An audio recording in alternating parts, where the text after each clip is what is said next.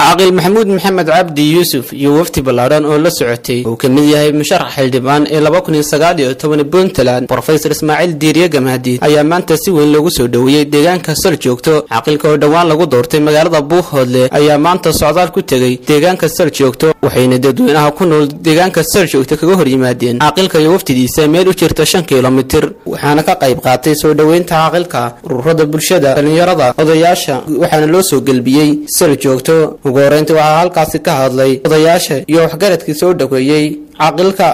Ugu dambeyntii waxaa munaasabada soo gebagabeeyey caaqil maxamuud maxamed. Aad nala qaadateen oo aad nala doorateen waa alxamdu lilaahi rabbi alcaalamiin waxaan leenahay caaqil maxamuud xilka aad qaaday ilaahay subxaana wa tacaala ammaanada aad qaaday ilaahay ha kugu asturo. Annaguna waa kugu taageeraynaa waa kugu garab taagana hawluhuna way kala horreeyaan. Waxna waa caleemasaar iyo shaacin. Waxna waa caana kushuf iyo xafladdii qiimaha iyo sharafta badnayd ee la isugu imaanay. Arrinkaas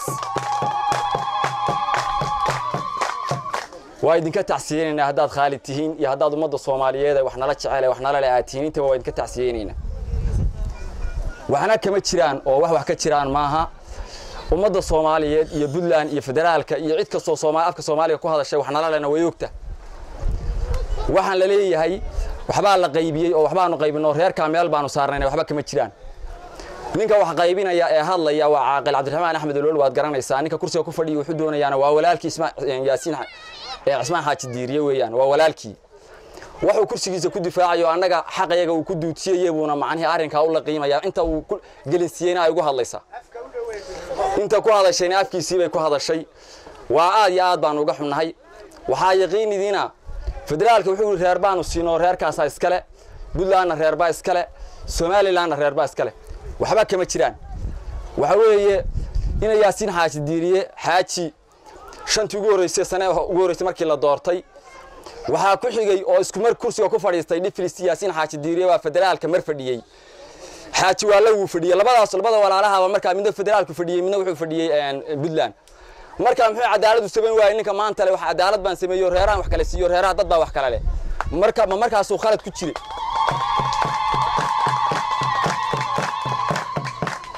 mise maantuu saxan yahay?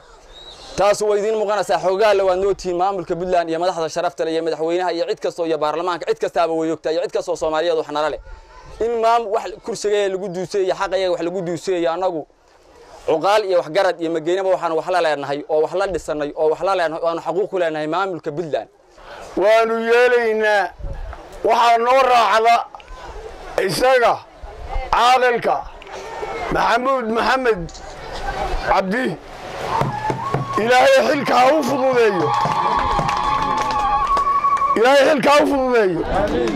Maxamed cabdi yuusuf dhegaweel oo deegaanka u ah waa ilaahay mahadii waxaa aniga si gaara maanta taariikhii ah oo aan xusayaa anigoo maanta aad idin hor fadhiya. Anoo shan jira in baadiye laga keenay oo meeshii magaalo ugu horraysay aan imaadaa ay haysol joogto. Maxamuud maxamed cabdi iyo waftii la socota oo nooga timid gobolka buuhoodle cayn halkanna waxaa weeyaan dadweynihii kale ee deegaanka soo joogto ama gamaha waanu soo dhowaynaynaa waanu hambalyaynaynaa. Waxaanu kaloo leenahay waa u ducaynaynaa xilka allaha kuu fududeeyo. Xilku waxa weeyaan maanta soomaali ninka xil u qaaday nin xil qaaday yeel qaad weeye hambalyo ka bacdi anigu waxaan isdul taagayaa laba qodob oo yaryar labada qodob ee yaryaraan isdul taagaya waxaa weeye way inda weydaadii gabay waa marideelka maansada gabdhahayga waataan ka taray dahashadiisii waa xaandayide goortay xuniya sababa duubeen andaliisha caawo kale aan dogobogaaye andaliisha caawo kale aan dogobogaaye ha yeeshee ducaan marinayaa deeqa la iskale beesha khaalid dawadaag xasan cabdille ayaanu u aqoonsannay ilaa isbuuc iyo maanta inta u dhaxaysa.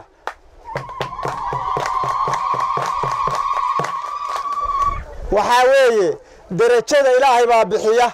Qof walba wakhtiga ay u soo gasho ayaa ilaahay muhiimsi waxaan kaloodkii saddexaadaan ku daray awalla reer joor joogto caaqil wuu ku yaraa. Caaqil waa inuu ku soo kordhay. Waa alxamdu lilaah ilaahay baa mahadle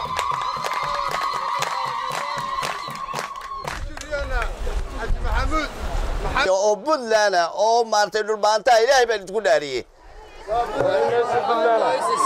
waa nin puntland oo s s c weye isaga iyo dadka soo doortayba waxa weeye qismi kuma leh somalilan waa dad dhulbaanta biyuura waa dad waxa weye s s c waa dad waxa weeyaan u guntad midnimada dhulbahante iyo harti iyo daaroodba. Federaalka iyo maaragtay puntland wixii la wada dhistay ee qoys ahaan lagu wada dhistay iyo wixii qaranka soomaaliyeed wada dhistay ee farmaajo hogaaminayo ayaa macnaha khuseeya ninka la yidhaahdo dhegaweel dhegaweel waxa khuseeya iyo maamulada uu ixtiraamaya isagiiyo dadkiisu. Magaaladu waa magaaladeydii dadkuna waa dadkaydii. Qof wale oo saqiira oo magaalkan taagan way garanaya xataa kuwa gurguuranaya ay garanaya.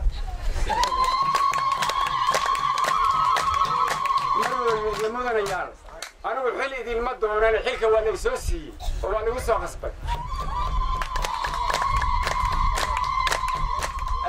Haddii laygu soo qasbana waan soo qaata oo idinkaan idiin soo qaada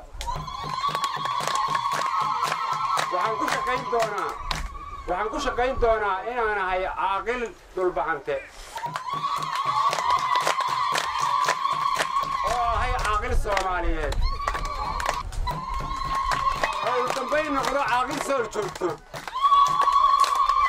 Waxaan ku shaqayn doonaa haddii ilaahay yidhaaho si cadaalada arrin iyo adduun mabdac iyo maskabadba inaan ku shaqeeyo si cadaaladoo dadku u siman yahay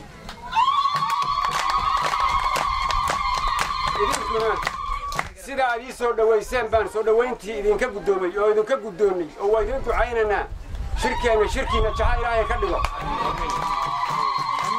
Midnimaan idiin rajaynayaa midnimo. Awalla waa midaysnay haddaynu nahay soor joogtiyo gammo. Dadka marka horena waa midaysnayn iminkana waanu sii midoobanaa gamcawada